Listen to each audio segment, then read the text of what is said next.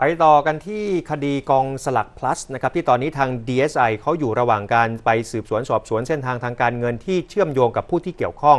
วันนี้เองนะครับทางแทนไทยเจ้าของบริษัทด้านการลงทุนนะหนึ่งในเส้นทางการเงินจากทั้งหมด 39 รายการ แล้วเชื่อมโยงไปถึงกองสลัก plus มีข้อมูลการโอนเงินให้กับน็อตนะครับเป็นร้อยล้านบาท ก็เดินทางเข้าไปพบกับทาง DSI นะครับในฐานะพยาน แล้วก็มีการนำเอกสารหลักฐานมาชี้แจงนะครับว่าเป็นเงินที่ให้กู้ยืมเท่านั้น ไม่ได้ไปร่วมทำธุรกิจด้วยนะครับโดยทำในลักษณะของการออกเป็นแคชเชียร์เช็คครับ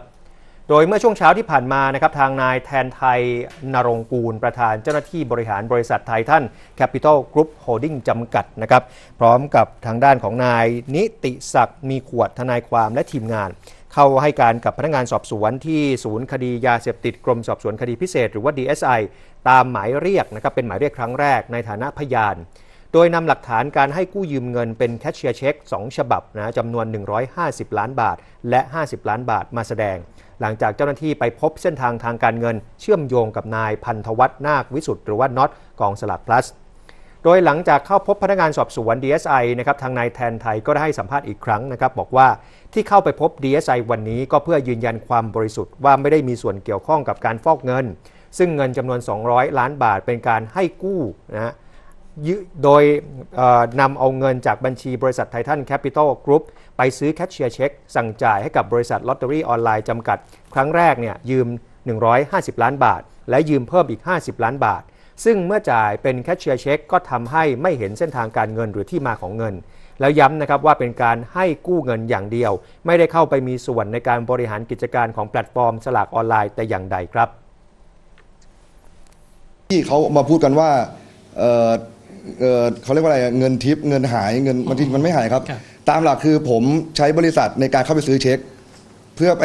ปล่อยสัมพันธ์สัญญาเงินกู้ให้กับกองสลากพลัดครับผมมันแต่ทำใช่แต่ทีเนี้ยพอเราเราจ่ายเป็นเช็คเนี่ยมันมันมันไม่เห็นที่มาของเงินว่ามาจากไหนซึ่งเงินมันไม่ได้หายไปไหนครับเป็นเป็นเช็ควันนี้เราก็เอาสำเนาเช็คมาชี้แจงครับ ครับปกติแล้ว คืออย่างนี้คุณแทนไทยนี่ไม่ได้เข้าไปร่วมลงทุนไม่ได้มีส่วนในการบริหารกิจการของบริษัท ของกองฉลากแพทย์กันนะครับ แค่เอาเงินให้กู้ยืม แล้วก็ได้ส่วนแบ่งเป็นดอกเบี้ยใช่นะครับส่วนการบริหารการจัดการยังไงเป็นเรื่องของบริษัทกองฉลากแพทย์คุณแทนไทยไม่ได้เกี่ยวข้องด้วย อย่างไรก็ตามพอมีกระแสข่าวเชิงลบต่อน็อตแล้วเห็นว่าอาจได้รับผลกระทบจากการตรวจสอบเนี่ยทางบริษัทก็เลยบอกว่างั้นก็ขอยกเลิก เป็นการขอยกเลิกสัญญาระหว่างทั้ง 2 บริษัท ไม่ให้กู้ยืมเงินตามเงื่อนไข แล้วก็ได้รับเงินต้น 200 ล้านบาทเนี่ยคืนมาแล้วนะคะเมื่อวันที่ 30 มกราคมที่ผ่านมานี้เอง ทีนี้พอถามว่าการคืนเงินของบริษัทลอตเตอรี่ออนไลน์จำกัดเนี่ยเป็นเพราะมีกระแสข่าวว่าน็อตจะถูกยึดทรัพย์ใช่หรือเปล่า ทางคุณแทนไทยก็บอกว่าได้พยายามบอกยกเลิกสัญญาไปก่อนหน้ามาหลายครั้งตั้งแต่มีข่าว แต่จังหวะการคืนเงินก็คือ 30 มกราคมค่ะ ก็คือในช่วงนี้ที่มีกระแสข่าวแรงๆครับ ผมพยายามบอกยกเลิกสัญญาไปนานแล้ว จนก็ได้วันก็ได้ได้มีวันที่เขาตกลงที่จะคืนเงินกัน เขาก็โอนคืนผมตามปกติครับผม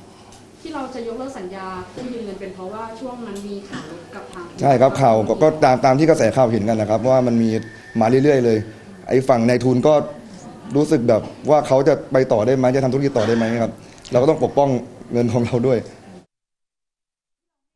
ทางนายแทนไทยยังมีการพูดถึงความสัมพันธ์กับน็อตนะครับว่าก่อนหน้านี้เนี่ยทางน็อตได้ติดต่อเข้ามา แต่ว่าไม่ได้มีการอ่านข้อความ จนทีมงานของคุณน็อตนะครับติดต่อเข้ามาในภายหลัง เพื่อเสนอแนวทางขอยืมเงินกู้ลงทุนหวยออนไลน์ แต่เมื่อมีคดีแล้วก็ทางคุณน็อตถูกแจ้งข้อกล่าวหา ก็มีการพูดคุยกันน้อยลง แต่ก็มีการอัปเดตกันบ้างเป็นบางครั้งบางคราวครับ